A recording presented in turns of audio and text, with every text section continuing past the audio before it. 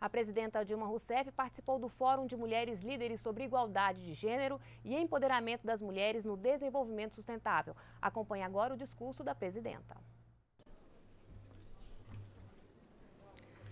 Eu queria cumprimentar a querida Michelle Bachelet, primeira mulher a exercer o cargo de presidenta aqui na América do Sul e atualmente diretora-geral da ONU Mulheres.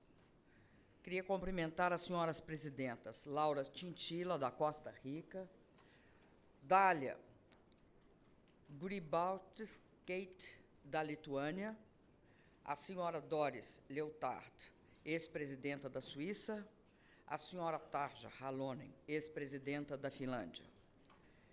Queria cumprimentar as senhoras primeiras ministras, Julia Gillard, da Austrália, Ellen Thorning-Schmidt, da Dinamarca, Portia Simpson Miller, da Jamaica, senhora Mary Robson, ex-primeira-ministra da Irlanda, senhora Gro Harlem Brundtland, ex-primeira-ministra da Noruega, senhora Ellen Clark, presidente do Grupo de Desenvolvimento e administradora do Programa das Nações Unidas, as senhoras ministras de Estado, deputadas, senadoras e líderes aqui presentes, minhas caras participantes do Fórum de Mulheres Líderes. Congratulo-me com a ONU Mulheres, liderada pela nossa querida Bachelet, pela iniciativa de realizar este fórum. É uma honra compartilhar essa mesa com as senhoras chefes de Estado e de governo e também com a subsecretária-geral, repito mais uma vez, Michele Bachelet, uma referência para todas nós, sul-americanas, pelo trabalho que vem desenvolvendo e por ter sido a primeira mulher eleita presidenta em nossa região, rompendo centenas de anos de exclusão política.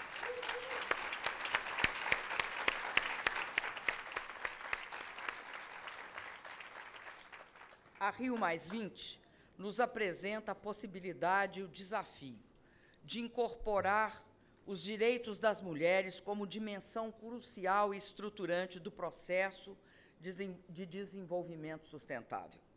Sem isso, não atingiremos os objetivos que nos trazem ao Rio de Janeiro.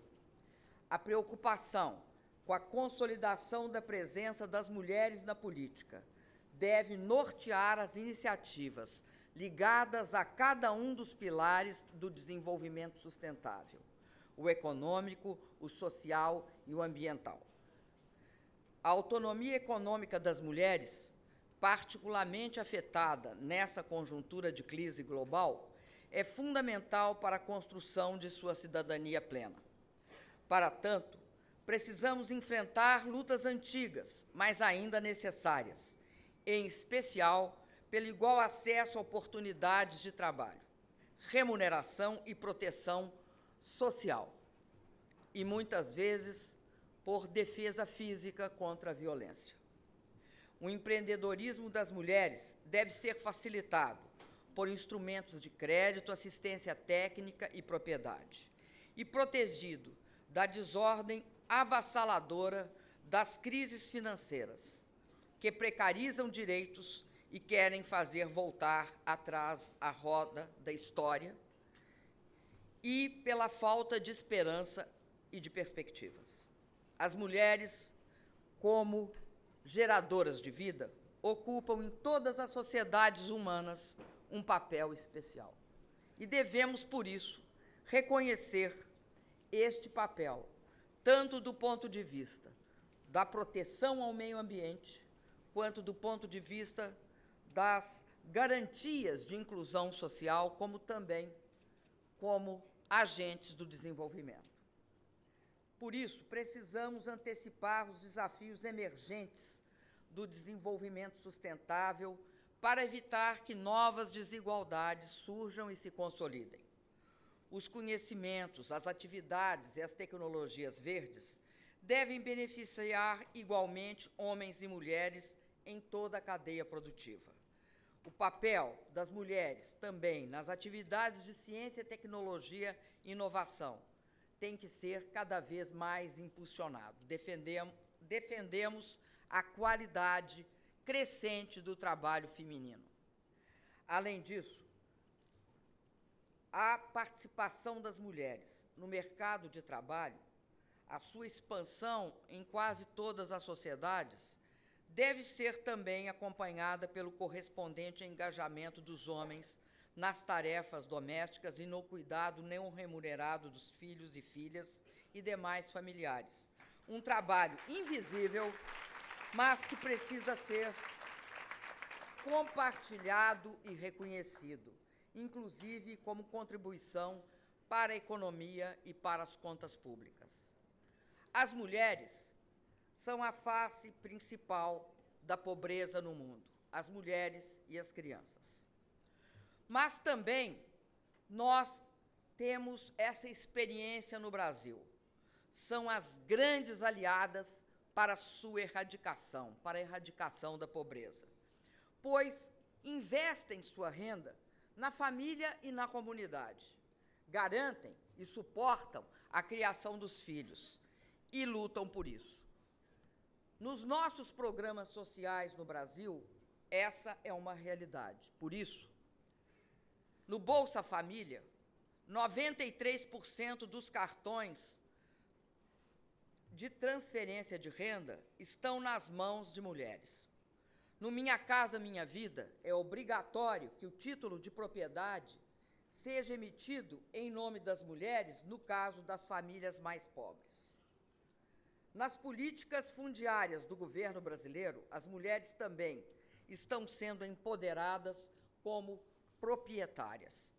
Em sua relação com o meio ambiente, as mulheres têm se destacado como aliadas nas mudanças dos padrões de consumo, no uso de energia, no uso da água e do solo. São guardiãs de conhecimentos tradicionais, mas também são capazes de disseminar avançadas práticas sustentáveis. Aqui, a palavra-chave para todos é acesso, mas, sobretudo, para a mulher. Acesso a recursos naturais, em especial a água, acesso ao alimento, acesso à moradia digna, acesso ao saneamento básico, à energia e à educação. No Brasil, estamos investindo para superar dificuldades e precariedades neste acesso aos serviços públicos de saúde, com pleno exercício dos direitos sexuais e reprodutivos. Inclusive, o planejamento familiar, a gestação, o parto, o puerpério, com assistência de qualidade.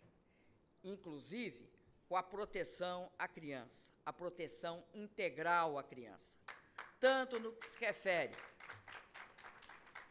as condições preparatórias do parto, como na sequência, quando aumenta no início da vida o risco para as crianças. Senhoras e senhores, combatemos a desigualdade, precisamos reconhecer e valorizar a diferença. A diversidade, um grande patrimônio biológico, é também um grande patrimônio cultural. O desenvolvimento sustentável deve ser construído como um projeto inclusivo e aberto para todos os sexos, raças, etnias, orientações sexuais, filiações religiosas, idade e condições físicas.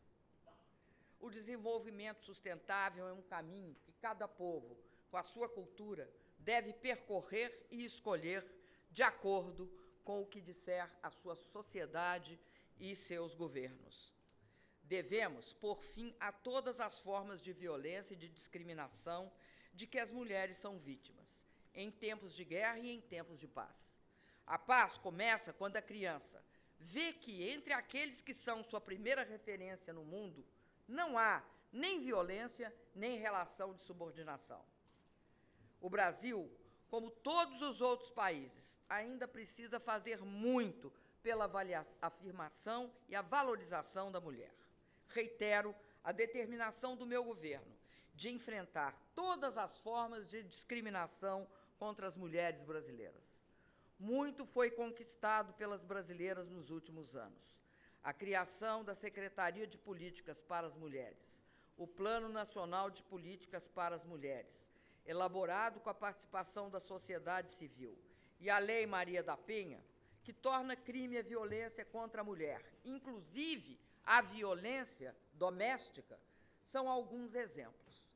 Trabalhamos em prol das mulheres da cidade, do campo, da floresta e do sertão, de trabalhadoras urbanas, agricultoras, indígenas, quilombolas, ribeirinhas extrativistas, de líderes políticas, de empresárias, enfim, de todas as mulheres que ousam e que vão sistematicamente levantando sua cabeça e entrando no mundo do trabalho, na sociedade, como agentes e como sujeito.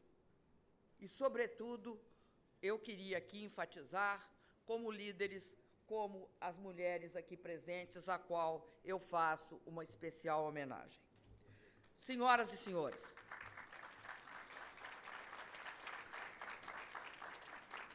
o desenvolvimento sustentável, um novo paradigma, implica olhar todas e todos, todos e todos, mulheres e homens, como essenciais. Trata-se de um desafio econômico, social e ambiental, mas, sobretudo, sobretudo mesmo de um desafio político. Estou certa de que as líderes aqui reunidas estão à altura da tarefa. Contem conosco.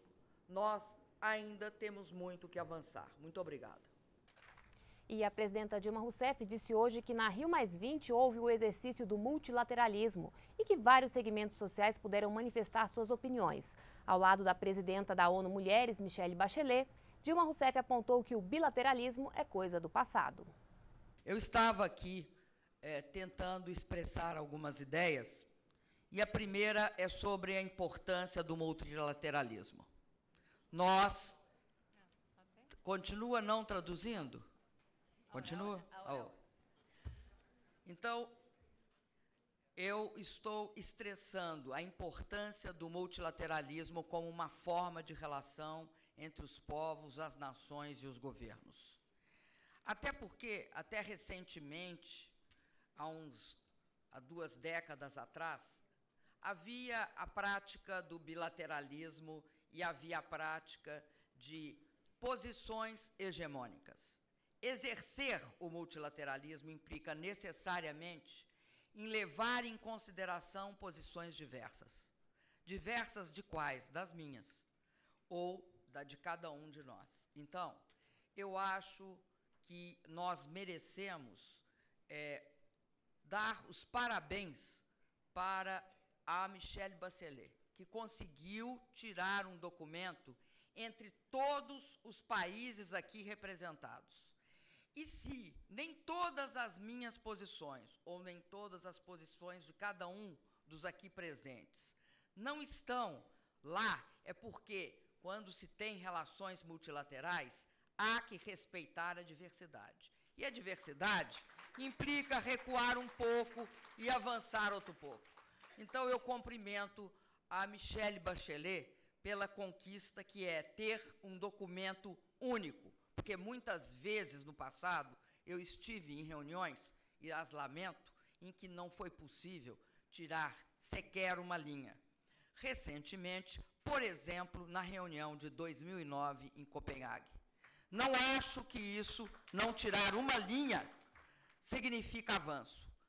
Significa avanço quando a gente consegue ter pelo menos um padrão mínimo comum de, de uma posição construída por consenso. Então, cumprimento muito a Michelle Bachelet por ter sido capaz de estabelecer um marco a partir do qual nós iremos certamente avançar com a evolução histórica das posições, inclusive das nossas. Muito obrigada. E nós vamos agora ao Rio Centro, no Rio de Janeiro, onde a Renata Soares tem outras informações. Olá, Renata, boa tarde. Olá, Carla, boa tarde. Bom, em função da abertura do processo de impeachment contra o presidente do Paraguai, Fernando Lugo, aconteceu agora à tarde aqui no Rio Centro uma reunião com os membros da Unasul, a União das Nações Sul-Americanas. Ficou definido que uma missão embarca agora à noite para o Paraguai. Logo após o encontro, o ministro das Relações Exteriores do Brasil, Antônio Patriota, conversou com a imprensa. Essa missão, ela se uh, desloca a Assunção. Uh, no espírito do protocolo adicional ao Tratado Constitutivo da Unasul sobre compromisso com a democracia. Uh, os presidentes uh, expressaram sua convicção de que se deve preservar a estabilidade e o pleno respeito à ordem democrática no Paraguai, observado o pleno cumprimento dos dispositivos constitucionais e assegurado o direito de defesa e o devido processo presidentes consideram que os países da Unasul conquistaram com muito esforço a democracia e, nesse sentido, nós todos devemos ser defensores extremados da integridade democrática da América do Sul. Muito obrigado.